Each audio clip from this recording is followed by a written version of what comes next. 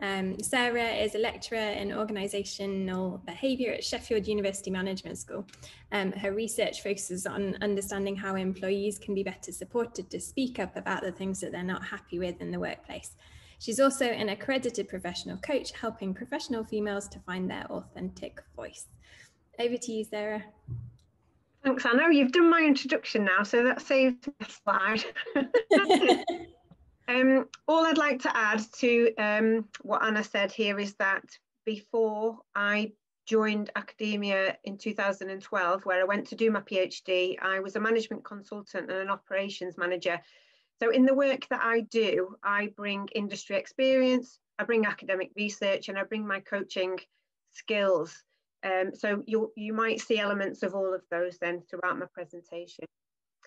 Um, what I'm going to do, I'm going to give you lots of things to think about. Um, so I really hope that happens. And I'm also aware that we've got breakout groups and I, I really want to get you thinking about things and thinking about what we can do. And particularly thinking about the challenge um, that Maureen and Kristen have laid down, which is about start speaking out about it, is, is to really think about how possible is that and how can we make it work. So the big question then is what works and what doesn't work when it comes to creating workplace environments where everyone feels safe to speak up. And what I'm going to do is introduce you very quickly to some literature which will start to answer that question. first of all, I want to point out that the literature thinks of voice very, very specifically, and I think possibly differently actually to the way that Maureen and Christine think about it more broadly. So the literature I'm going to share with you today talks about dissatisfied employees, so employee, employees who are unhappy with something that's happened in the workplace, and it requires them to tell a manager or somebody in uh, a position of authority so they can do something about it. So that's particularly the frame of reference that this literature talks about. It doesn't talk about and it doesn't refer to people sharing things with friends or family or talking to colleagues about it. It's very specifically talking to a manager, expecting them to do something about it. So there's five influences that shape voice in the workplace that are relevant for um, sexual harassment and appropriate behaviour. So the first one is the individual and our individual um, propensity really to speak up in the workplace. And then we've got what happens to individuals when they're in a group. And I think we all know, don't we, that individuals don't necessarily do what they want to do when they're in a group of people. So employees do behave differently collectively to individuals. We've also got then managers who make up a large part of organisations most of the time. We've got content. So what you want to talk about really does make a difference. And context. And I think context really is everything else. Um, it's the bigger picture as to what else is going on for the people, for the organisation, or even in the world at the time that that voice is trying to take place. So, content. We as humans generally do not like to talk about bad news. We don't like to challenge people's views or opinions or have different views or opinions. We don't like to talk about sexual harassment and mistreatment.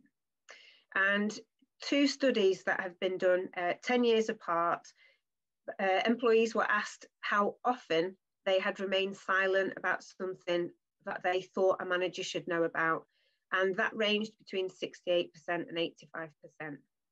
So we know that employees remaining silent about things that managers might want to know is really high.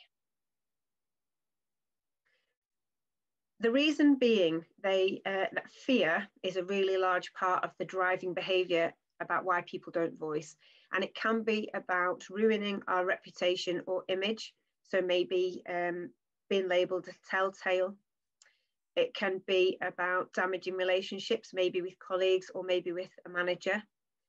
We can be scared of negative work evaluations, so bad appraisals or missing a promotion or being given a really bad project opportunity to work on. We might be worried that people will retaliate for uh, what we've said, or will they ostracize us? And I think anybody who's had negative self esteem or poor mental health or really been feeling down in the dumps is, is really uh, keen not to go there voluntarily. And I think when we're scared of all these things, actually, what we do is we protect ourselves and say it's easier if I don't speak out. When we think about individuals, right, there's absolutely tons of research about individual differences. So the ways that we are all different and our preferences for how we do things at work. And there's loads of research to show how these variables make a difference to voice. Uh, I'm, and I'm not going to go through them because there are loads of them. But ultimately, um, we, so we're all different as people, but when we come together, what happens is we've got this effect called spirals of silence, which is where individually we would be unlikely to speak out where we perceived a majority opinion. And the important thing there really is about the perception because people don't often speak to each other. So it is just a view that actually my view is different to everyone else's. And the more people remain silent, the more that perception of majority view becomes more dominant. And, and there are cases where that hasn't been the case. It literally is a perception, it really isn't the reality. But the risk of that is minority groups are at more risk of bullying or abuse and they're less able to seek help because they just can't voice what they need to do, what they need to talk about. Managers. So managers create cultures in organizations and there is a culture called organizational silence, which is where employees are less likely to voice. Silence is their option that they would choose. And this culture can be created largely because managers don't tend to ask opinions of their employees before proceeding. And one of the reasons for that is that many managers believe that employees are self interested. So they're not capable of giving an objective viewpoint that's maybe balanced between what would be good for the team and the organization and what would be good for themselves. They're just focused on what's good for themselves. There's also a view that managers know best, they get paid more, they may be more highly qualified, they've maybe worked there longer. So actually, what point would there be in asking people who are less senior than me in the organisation? And there's also a belief that when everyone agrees, it's better than when people disagree. Now, we, we know that for creativity and innovation in organisations, there needs to be different opinions and perspectives. But managers find that problematic, it feels uncomfortable for them, and so they tend to go towards making sure that everybody agrees. Context. Um, so like I said, context is everything else that's going on. The one big thing that's always going on in organizations is power differences between employees and managers. So we can say that all voice and silence is underpinned by power. And managers have an ability to empower their employees by being interested in what they've got to say, by giving them the opportunity to contribute to decisions by giving them a voice. But on the same, by the same token, they also have the ability to disempower them by not listening to them, not inviting them, and not feeling what they have to say is important. What we also know as a general rule, which kind of supports this statement, is people in lower power positions in an organization, so those towards the bottom of an organization, are less likely to voice. And we also know that people who are more senior in an organization are more likely to voice. So that's a kind of general rule. And I thought that was interesting to, you know, to talk about because the thing about gender is the voice and silence literature, which is about 20 years old now, uh, in its early days, tried to see what the differences were between male and female. And it simply looked at whether it was a male or female that they were interviewing or was taking part in the study. And what they found was there was no difference. So from that early point, gender has never really been a focus of the voice and silence literature. So we know only a really little bit about it. But I'm going to tell you some of the things that I think are relevant Um, there doesn't appear to be any obvious differences between genders because of their gender in particular. And we kind of knew that, but in 2021, so a few months ago, a paper's been published here that, that explicitly looked at that and said, you can't tell what the difference would be just by someone's gender. It is far more complex than that. So what we could say here, for example, is a female is not less likely about a problem than a male in general, but a female might be less likely to speak up to a male about sexual harassment, for example.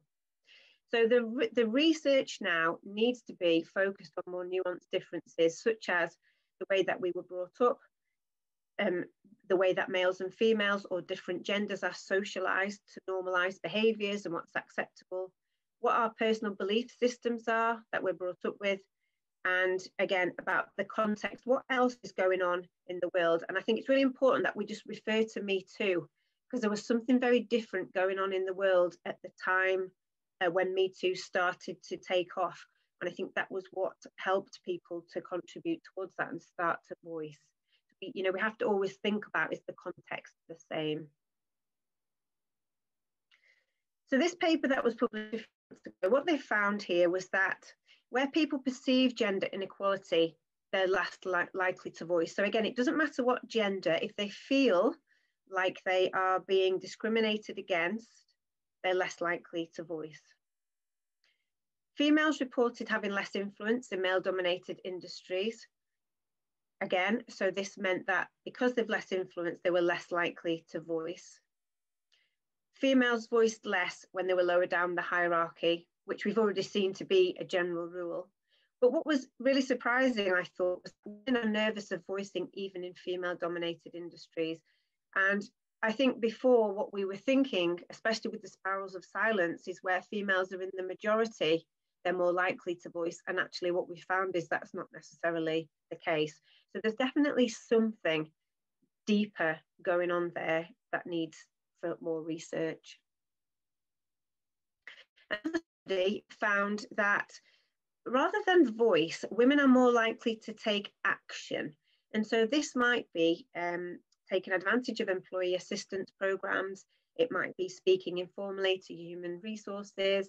It might be working on their professional development. So, for example, um, learning how to get more confidence or how to be more assertive.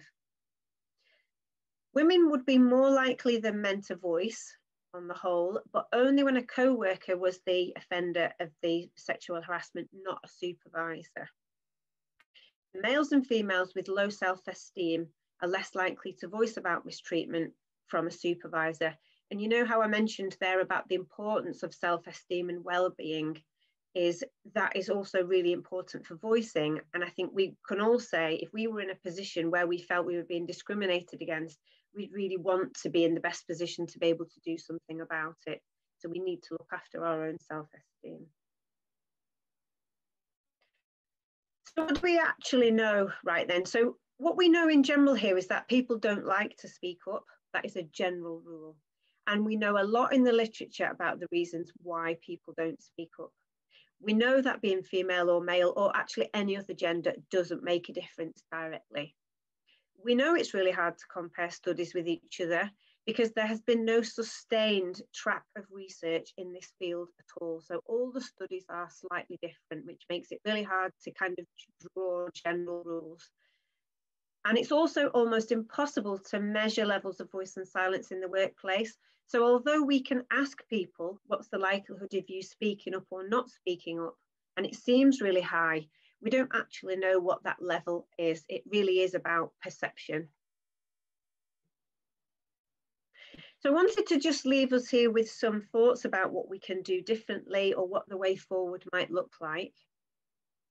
From a policy and practice point of view, um, there's a few things here that seem to make a difference. So the use of internal mediation seemed like a, a good way forward. In the study there, it seems that people were more likely to use that as an option we know that a leadership style of coaching is more likely to encourage people to voice. And of course, coaching is all about helping people to come up with their own perspectives. And um, we know that that makes a big difference to their ability to voice. I think there's more research needed to understand why that would be, though. women need to plan what they say very carefully. So there is a lot of risk associated with women, regardless of their level in the organisation or whether they're a minority or a majority. So there might be something here about providing women with more support to build a plan. I think, again, coaching would be really valuable here in helping people to be able to say what they think. And using evidence and possible solutions might help people to be heard. So they must have evidence and they might want to come up with possible solutions. I personally think that's really realistic to expect people to do that, but it does seem as if that is something managers demand. If you're a manager, what can you do? So we know employee voice is correlated with perceptions of openness and honesty. The more approachable and trustworthy you appear, the more likely people are to tell you things. And this seems to be um, created because of a concept called psychological safety. Many of you may have heard that. It is quite trendy at the moment for organisations to want to create psychological safety. And the way that they tend to do that is build individual relationships between managers and their teams. Now, relationship quality is important for voice, but only to a certain point. And because of the power differences between employees and managers, managers always have more influence, they always have more authority. Employees aren't able to forget that.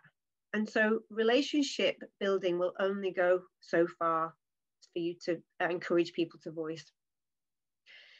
The reason being, I think here, psychological safety leads to reduced risk.